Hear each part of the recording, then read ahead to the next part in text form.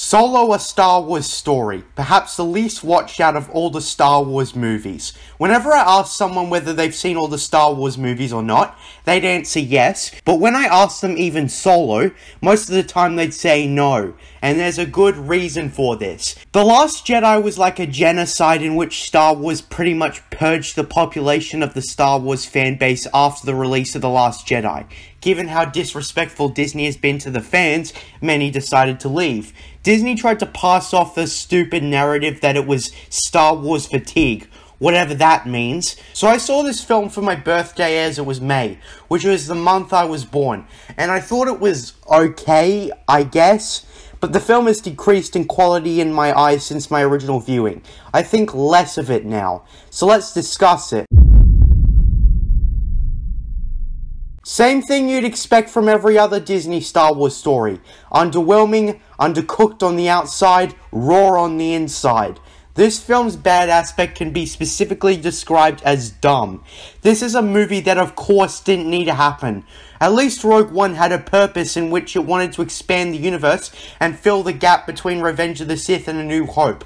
Solo, on the other hand, just does nothing for the franchise. This is not the type of story that should have became a movie. Why couldn't it be a fucking book?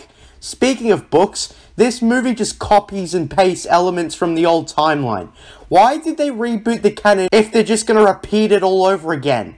Canon should be a brand new thing. Maybe if the new canon was designed to be a hybrid of the old one instead of a blatant case of plagiarism, maybe it would get away with it. If you're going to repeat something, then at least give it the same fucking name. Solo is quite similar to the books about Han Solo.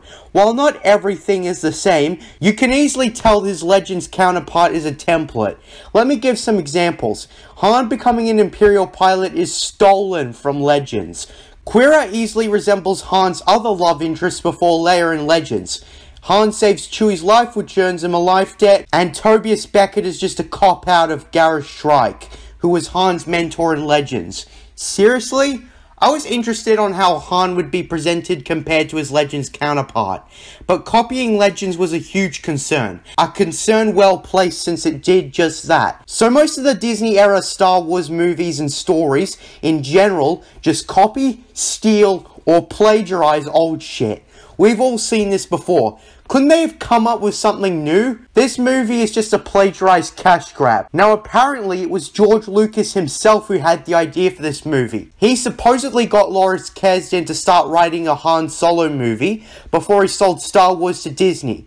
But I'm calling bullshit for two main reasons. One, they disregarded his sequel trilogy, so why would they go through with his Han Solo idea? And two, Disney are compulsive liars and use George often as a marketing ploy. I suspect that this is more of a lie Disney made up so fans would either accept it or the outrage for this idea would go to George and Disney could just say George wanted this movie to happen.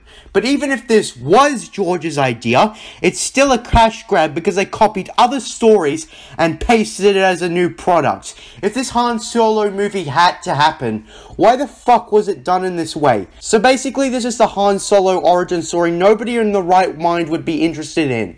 This is perhaps the least interesting idea for a Star Wars movie. A movie has to make you want to see it in the trailers and stuff. And since this movie just looks uninteresting, that's just a big problem. To summarize this movie, it's basically a 20 minute prologue of explaining where Han came from, and then the rest of the movie is Han doing everything else mentioned in the original trilogy in the span of a weekend. Yeah, the sense of time feels like this all happened between two to three days. Now, to be fair, Revenge of the Sith had a lot of important shit happen in a week that you'd originally think would happen over time, but Revenge of the Sith handles it far better because the writing is top notch. Solo feels like a one time roller coaster ride that is absurd. It's very unbelievable. How could he have done all this shit in a weekend? Fucking hell. So, with that out of the way, let's have a look at the actual plot. Well, the opening is an improvement over Rogue One, I guess, since it has some sort of opening text, but still, it should still have it the Star Wars way. Han and Qi'ra escape from this weird alien to try and get off world, but Quirrell is caught and Han has to do it solo. We get this ridiculous, unnecessary explanation for Han's surname, as some random Imperial officer gives him his iconic name after some weird ass dialogue. Who are your people? I don't have people. I'm alone. So basically, Han's motivation for becoming an Imperial is over his fucking girlfriend. But one thing I don't get is how is becoming an Imperial pilot gonna get your fucking girlfriend back? This is literally the most cop out explanation for them to try and be somewhat different from Legends. Do you think changing his motivation makes your unoriginal idea original? So cut to like three years later. Han has been kicked out of Pilot Academy for having a mind of his own, which confuses me because isn't independence supposed to be a good thing? Wasn't there a Star Wars Rebels episode where they literally discouraged teamwork? I mean, this is around the time they stopped keeping track of their own law. So Han overhears a bunch of smugglers talking and he wants a piece of the action. But their leader, Tobias Beckett, just gets him thrown into a pit with Fucking hell, Chewbacca? Really? Is this how they punish deserters in the Empire? By feeding them to a fucking Wookiee? And another thing, isn't it a bit strange that Han can communicate with Chewie instantly? Now this is just an assumption, but I always thought Han and Chewie learnt to communicate over time. I mean, that makes far more sense than this. So Han and Chewie managed to escape, and the smugglers from earlier changed their minds and picked the two up. Then we've got this really suggestive scene of Han and Chewie in a shower. Now that is just cringe 101. It's a dumb scene that should have been cut out. So basically, after some talk about the heist they're about to pull off, they try to rob an Imperial train on some planet I have no interest in. Of course, it all goes to shit, and pretty much everyone dies except for Han, Chewie, and Toby, and also a group of rebels hinder the robbery. I'll get to them later. Toby reveals that he was hired by Dryden Vos, a higher ranked crime boss in the Crimson Dawn Mafia or whatever the hell. Toby says that he'll have to convince Dryden Vos to give him another chance, otherwise his head will be off. So they go to Dryden Vos's yacht, and Jesus fuck, Han just happens to come across Quirrell again. The chances of Han ever meeting Quirrell again is approximately 3,720 to 1. Never tell me the odds. Well, actually much higher. I can forgive contrivances like this if the rest of the story is well written, just like Wolfenstein The New Order, but this story has countless things that make no sense. So Han suggests going to Kessel for the supply they were gonna steal. Dryden Vos accepts and tells Han and crew that he can bring his girlfriend with him. So then we get another character introduction. Lando Calrissian. I guess Lando is okay. In this movie, the thing that breaks the character for me is that he doesn't really feel like Lando. So let's talk about the black sheep. They fucking changed his sexuality from hetero to pansexual. This retcon does absolutely nothing for the story or the universe as a whole. So what the hell was the point? Later in the movie, we meet his droid that they heavily imply that he likes on a sexual level. This is really uncomfortable to listen to.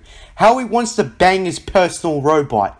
The thing that this movie does wrong is change characters into some weird version of themselves. Lando is supposed to be a ladies' man, like seen in Empire Strikes Back. This pansexual retcon does absolutely nothing. Now keep in mind, I spoke to an actual pansexual guy, and he doesn't like it either for the same reason. It breaks his character. And since this pansexual retcon is never referenced in The Rise of Skywalker, a movie where the original actor returns, it seems like this is just some stupid fan fiction. And I should also talk about the lesbian kiss in The Rise of Skywalker since I'd rather talk about it now. When I say I didn't like the lesbian kiss, it's not because I think homosexuals don't deserve rights. It's quite the opposite.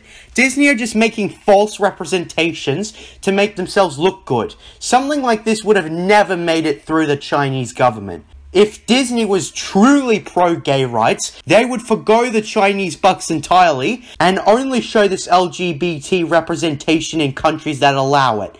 Disney doesn't give a shit about gay rights. It's all about money, and all they're trying to do is make themselves look righteous and politically correct. It's just scummy.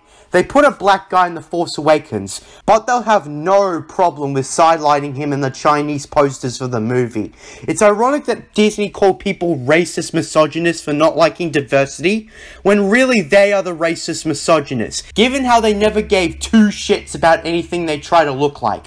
They're not LGBT supporters or race rights supporters, they just use both movements to make themselves look good. So they have a game of Sabacc Han loses because Lando cheats, but Lando agrees to help with the heist for the cut of the money. At this point, I'd rather play Grand Theft Auto 5 than continue watching this movie, because the heists in that game are far more interesting and exciting, and you also get to personally spend the money you earn from the heists. Here, I couldn't give a shit about these characters' ambitions, even the ones from the original trilogy. So with the crew assembled, we see the Millennium Falcon in its earlier stages.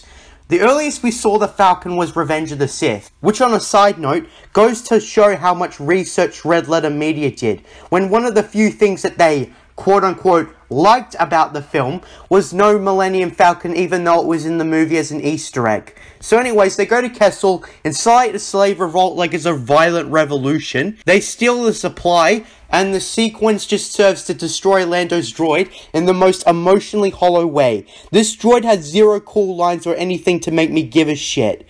This just serves to explain the Falcon's navigational computer and Empire Strikes Back and stuff. Something that I never remotely gave a shit about. So Han Solo does the Kessel run, because of course he does. This is a crazy weekend, and essentially Han and crew land on a planet called Savareen, which just like everything else, I fail to remember the name of because the place was just so boring. I remember Han and Lando around this time talking to each other, and they interact nothing like they do in the original trilogy. The rebels from earlier show up, Han bluffs that he has like 20 hired guns on the ship, but Lando just ditches them.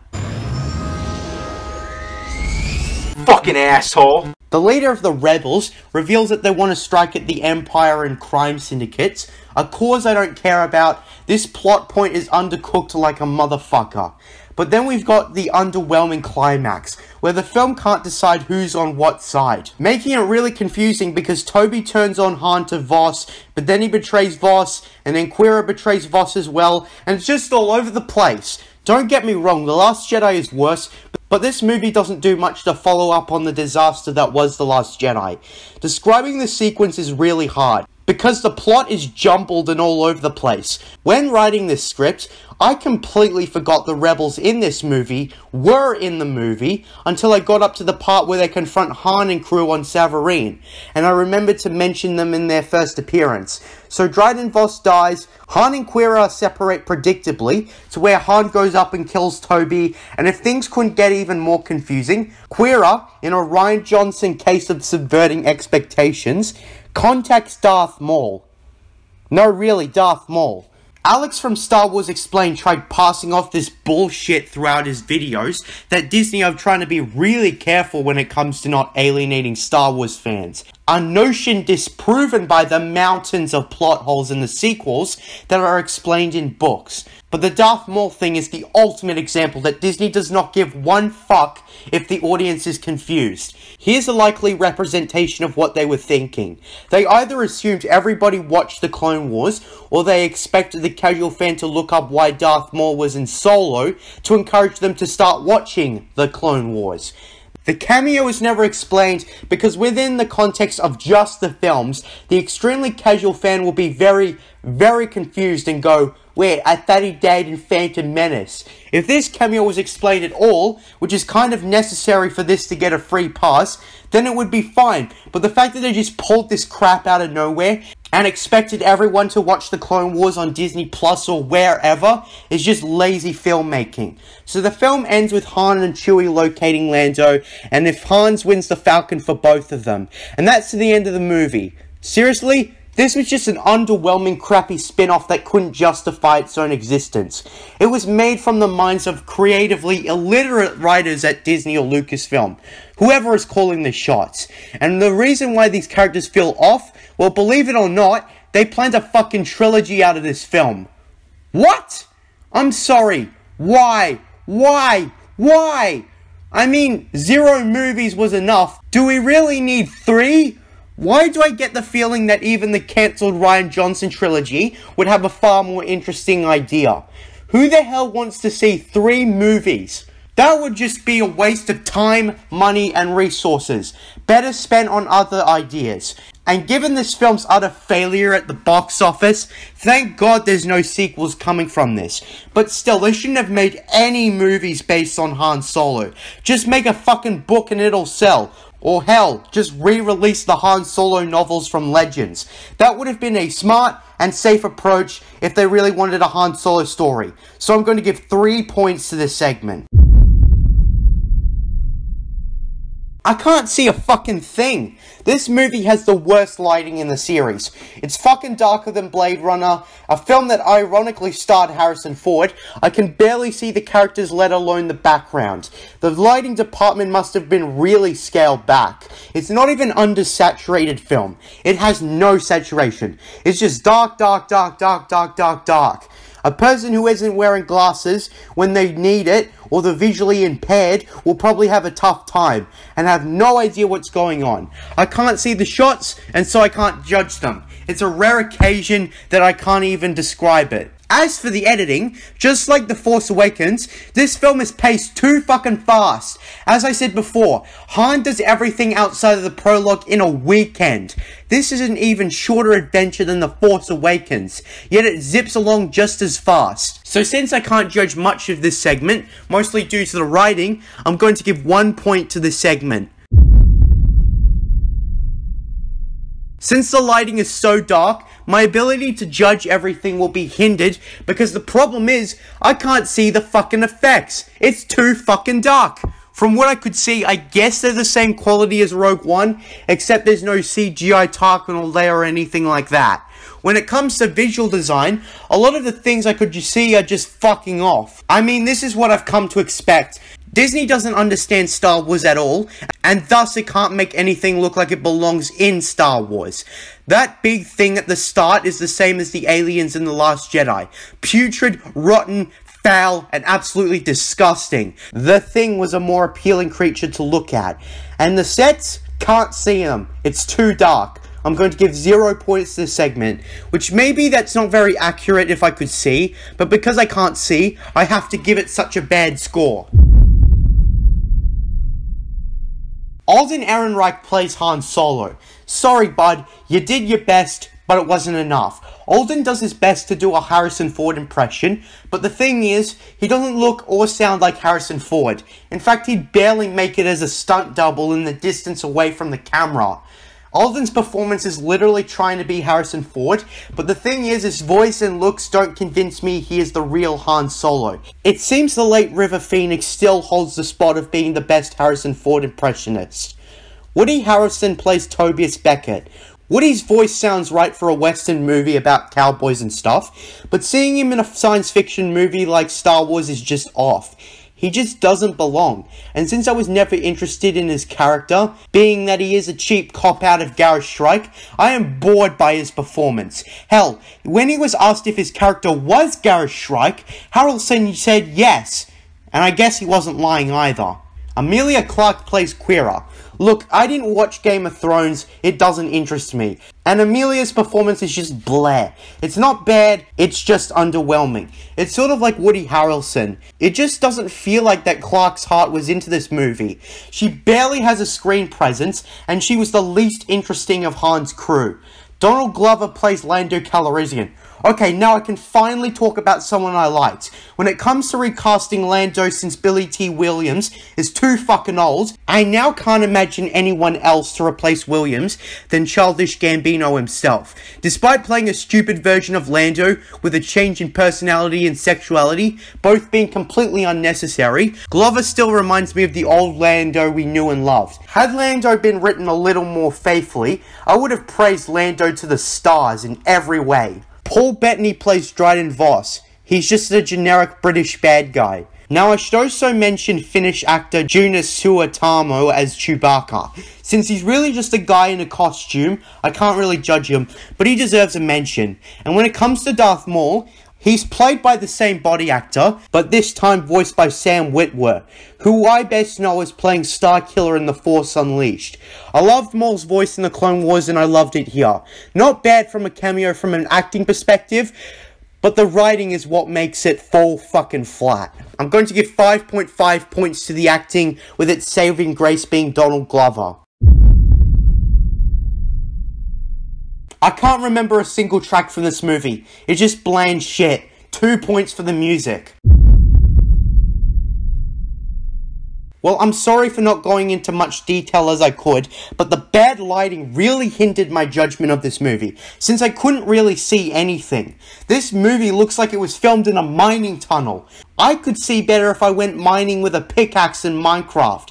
It's just unwatchable. I can only listen, but even the dialogue's forgettable. Except for the exchange between Han and that Imperial officer, and also when Lando said that every story about him was true. Just like the Rian Johnson trilogy, the Han Solo trilogy is never happening. I can see why some might enjoy this movie. It can be enjoyed as an inoffensive space western, but the problems of this movie was too much to bear for me. Solo a Star Wars story has earned a total of 11.5 points out of 50, equaling a 2.3 out of 10 score.